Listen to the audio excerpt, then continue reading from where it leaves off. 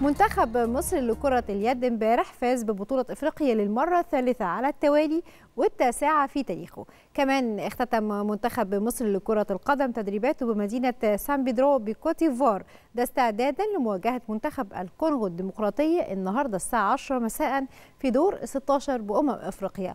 تفاصيل أكتر عايزين نعرفها عن فوز منتخب اليد واستعدادات منتخبنا الوطني لكرة القدم الأخيرة لمواجهة الكونغو. برحب معنا على تليفون الناقد الرياضي إبراهيم علي. صباح الخير. صباح الخير. صباح الخير عليكي وعلى السادة المشاهدين. أهلا بيك. في البداية طبعا حابين نهنئ منتخب اليد وفوزنا بكأس الأمم الإفريقية للمرة التاسعة في تاريخنا والمرة الثالثة على التوالي وتأهلنا كمان لأولمبياد باريس 2024 طبعا فوز مهم جدا لمنتخب كرة اليد في مصر. طبعا كعادته متسيد القارة الأفريقية بيقدم نتائج قوية جدا وبيقدم يعني نتائج مذهلة جدا. يعني في فرق وفجوة كبيرة جدا ما بين المنتخب مصر بتاع كرة اليد ومنتخبات القارة الأفريقية. كمان منتخب اليد في مصر كمان متفوق عالميا. بنشوفه في المونديال اليد الأخير برضو بيقدم نتائج مهمة جدا برضو فترة الاستعداد قبل بطولة أفريقيا لعب مع منتخبات أوروبية كبيرة زي منتخب الدنمارك وقدم برضو على الرغم من الخسارة ولكن قدم يعني نتيجة جيدة جدا ولكن فوز امبارح بقى على منتخب الجزائر والفارق الكبير بثمان نقاط تقريبا 29 21 ده يعني 29 21 بالظبط. آه ده يعني فرق كبير جدا بنشوف بنشوف قد إيه إن منتخب آه اليد بقى فارق كبير جدا ما بينه وما بين المنتخبات الأفريقية الأخرى وكمان في دي أول مرة يتفوق فيها على منتخب الجزائر في النهائيات لأن سبق إن هم التقوا قبل كده مرتين في نهائي البطولة ولكن خسرهم المنتخب المصري ولكن في العهد الجديد وفي ال في ال يعني في اللي إحنا فيه دلوقتي في آخر يعني 10 سنين تقريبا في تفوق كاسح للمنتخب اليد وبيقدر إن هو يتوج بالبطولة ثلاث مرات متتالية ويعني إحنا سعداء الحظ إن إحنا نشوف تتويج المنتخب المصري طبعا, طبعا. عندنا هنا في الصالة المغطاة بإستاد القاهرة كتير بيسأل بقى شايف إزاي هيكون حظوظنا في أولمبياد باريس اللي جاية؟ وهل فعلا قادرين على الفوز بالبطولة؟ الفوز بالبطولة في في باريس هيبقى الموضوع يعني صعب شوية ولكن أكيد أكيد هيبقى في أداء قوي من المنتخب المصري في الأولمبياد اللي هم بيمتلكوا روح قتالية كبيرة جدا. أكيد طبعا لأن هم يعني على طول بنشوف حتى في بطولة العالم بعيدا عن الاولمبياد وفي الاولمبياد كمان اللي فاتت منتخب مصر بيقدم نتائج مذهلة جدا لغاية آخر نفس بيلعب قدام المنتخبات الأوروبية القوية يعني المتصدره للمشهد زي منتخبات أسبانيا والدنمارك وفرنسا.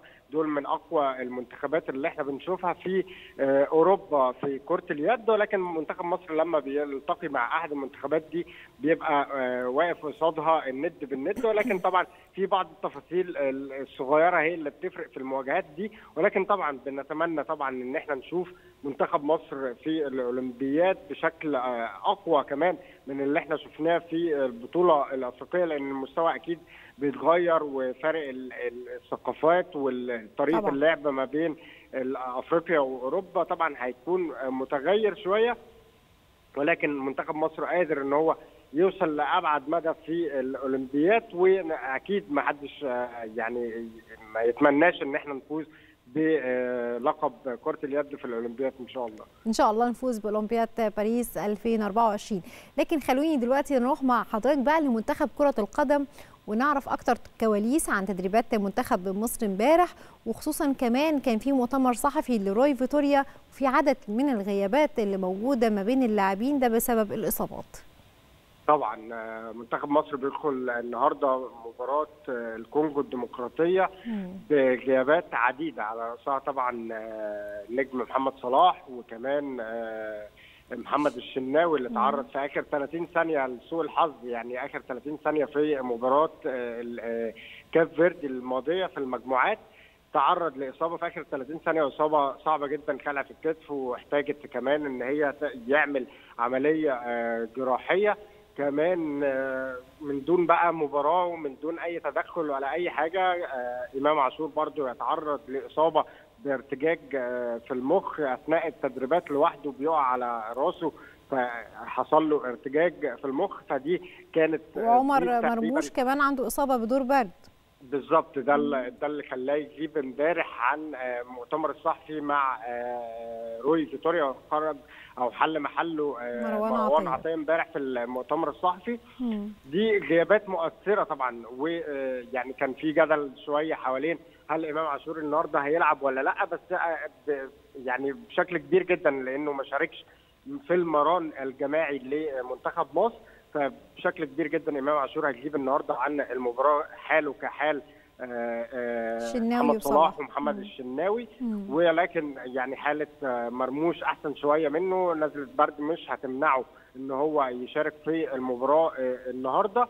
ولكن يعني ضمننا كده القائمه اللي بتضم 27 لعيب. في ثلاث لعيبة مؤكدين إن هو هيجيبوا النهارده أو هيتم استبعادهم. هم محمد صلاح ومحمد الشناوي وإمام عاشور. والرابع ده بيبقى تبع بقى اختيارات الفنية لروي فيتوريا مدرب منتخب مصر. طيب عايزين نعرف تفاصيل عن تاريخ مواجهات الكونغو الديمقراطية ومنتخبنا الوطني.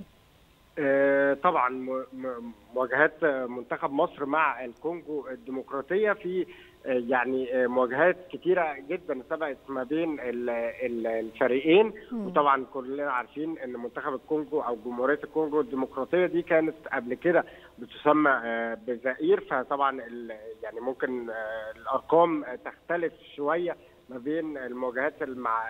منذ أن تم تسمية الزئير بجمهورية الكونغو الديمقراطية ومسابقات قبل كده بقى لما كان المنتخب الكونغو بيحمل اسم زئير بشكل عام يعني التقى الفريقين في 12 مباراة كان منهم 8 مباريات رسمية وأربع وديات. من الثمان مواجهات الرسمية دول كان في خمسة في كأس الأمم الأفريقية.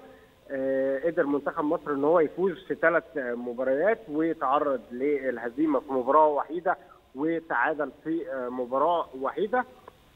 تقريبا كانت آخر مواجهة ما بين منتخب مصر, وكونغو كانت في نسخة 2006 كانت في ربع النهائي. قدر ساعتها منتخب مصر إن هو يفوز بنتيجة كبيرة جدا في جيل حسن شحاتة طبعا.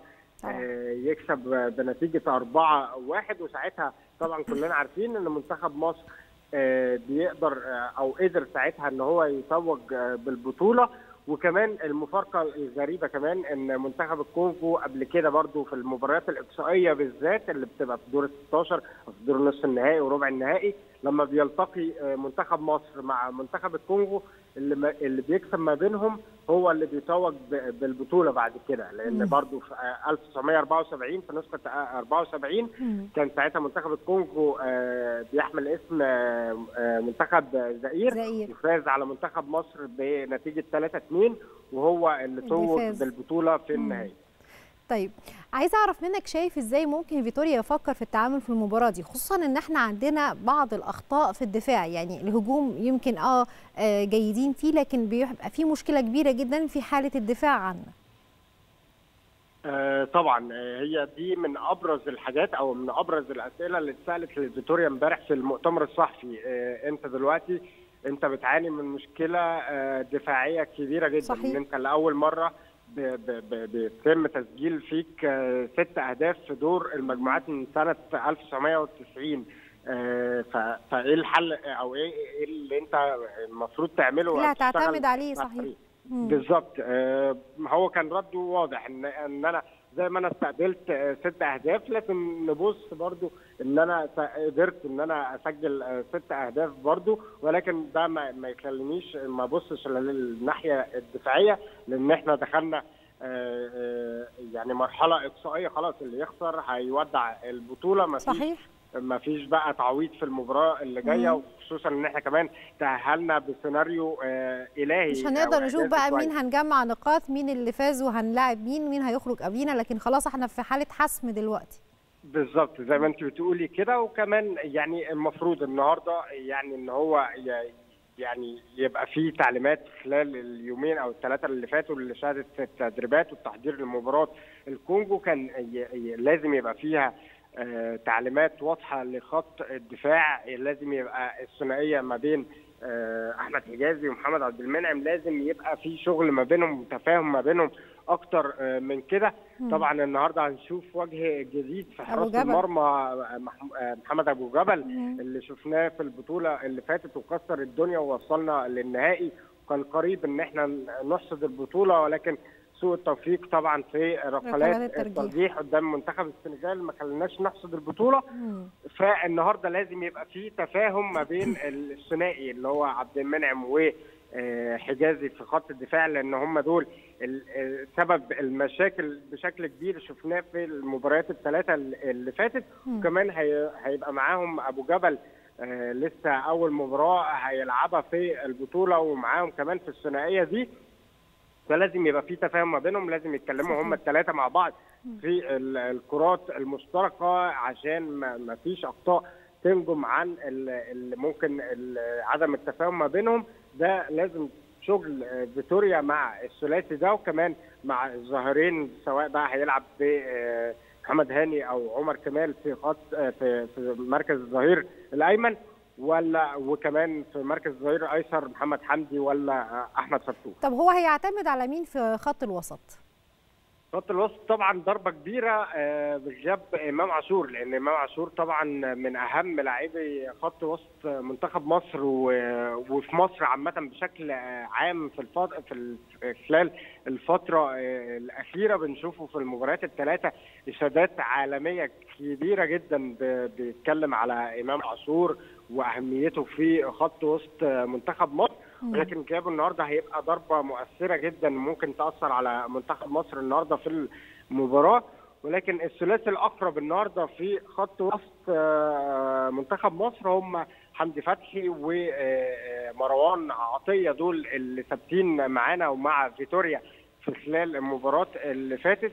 كان في أصوات إن طبعا بعد المباراة مباراة الجولة الأولى والثانية بخروج محمد النني من التشكيل وده اللي حصل في مباراة كاب فيردي.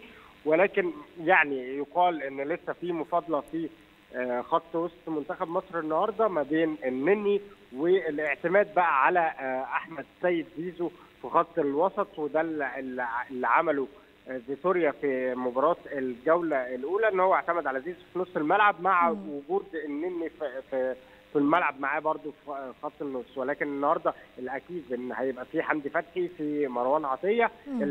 لسه في الشك هل هيبدأ بنني أساسي ويسيب فتو ويسيب عفوا أحمد زيزو يلعب في مكان محمد صلاح ولا يعتمد على مصطفى فتحي لسه هنشوف فعلا خلال الساعات القادمة. بس أنا سؤالي الأخير ليك توقعك لمباراة النهارده الفوز لمين؟ والنتيجة هتكون كام كام؟